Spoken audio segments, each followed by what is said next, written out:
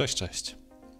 Z racji tego, że ostatnio dużo czasu spędzam przed e, ekranem, e, bo pracuję zdalnie, ale też e, czasami pogrywam sobie wieczorami w różne gierki i ostatnio oczywiście ściemnia się dużo szybciej, bo już po 15 robi się ciemno, niestety. Z tego względu postanowiłem kupić sobie taką oto lampkę zakładaną na monitor. Ja już parę razy taką lampkę widziałem i postanowiłem sprawdzić, jak to w ogóle e, działa i czy ma lepszy wpływ na moje oczy. Jestem niestety w takiej sytuacji, że mam małe biurko i nie mam nawet miejsca, żeby postawić lampkę, więc e, taka zakładana na ramkę monitora będzie idealnym rozwiązaniem i znalazłem właśnie e, taką oto lampkę firmy e, Blitzwolf. Myślę, że dobrze przeczytałem. Jeśli nie, no to poprawcie mnie w komentarzach. Ramkę kupiłem na serwisie Banggood. E, jest opcja wysyłki z Czech, więc przyszła ona bardzo szybko. Mm, właściwie musiałem czekać tylko kilka dni. A, no, a tam wysyłka troszkę więcej kosztowała, ale to nic. Za całość zapłaciłem około 160 zł, więc e, myślę, że to całkiem niezła okazja. Jak widzicie, lampkę podłączamy na USB.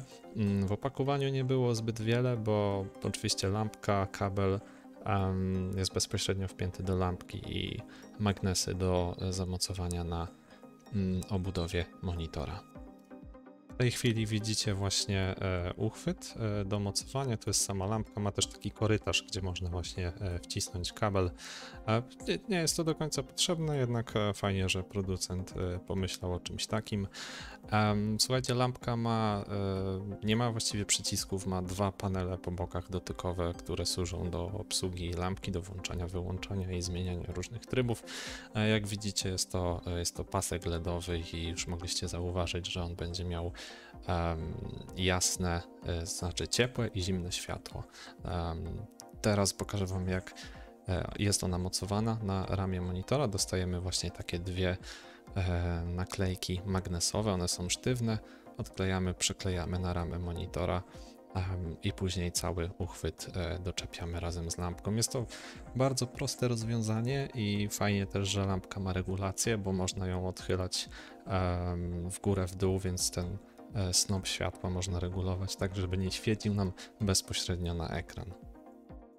Co do samej lampki, jest ona wykonana dość dobrze, to znaczy e, nic tutaj nie trzeszczy. Są to oczywiście plastiki z jakimiś tam elementami e, aluminiowymi, których jest niewiele, ale, ale jednak są. Te, te panele dotykowe wokół są chyba aluminiowe. I cała lampka sztywno leży, nic tu nie trzeszczy, nie telepie i zaraz zobaczycie, jak ona świeci. Włączamy sobie ją e, panelem po e, lewej stronie jednym przyciskiem, sorry, jednym tapnięciem e, i przytrzymując palec możemy raz rozjaśniać albo, albo ściemniać. Później tak dotykając palcem możemy zmieniać tryby. Z lewej strony jest obsługa przedniej lampki, natomiast jest też e, tylnia lampka, więc bardzo fajnie, że ta lampa jest e, dwustronna. Mm, brakuje mi trochę tego, że z tyłu nie można ustawić takiego samego trybu jak z przodu, więc e, nie ma tutaj regulacji światła białego i światła żółtego. Nie wiem, czy to dobre określenie, ale na pewno wiecie o co chodzi. Z tyłu mamy tylko lampkę LEDową, ale jest tu bardzo dużo trybów i na pewno każdy znajdzie coś dla siebie. Mam nadzieję, że mm, wytłumaczyłem Wam, e, jak obsługuje się tą lampkę i czy ona jest dobra. E, mam nadzieję, że pomogę Wam e, w zakupie. Jeśli tak, no to dajcie znać w komentarzu. Ja oczywiście bardzo będę się cieszył, jeśli dacie łapkę w górę. Ja się żegnam. Dzięki wielkie za oglądanie i do następnego. Cześć.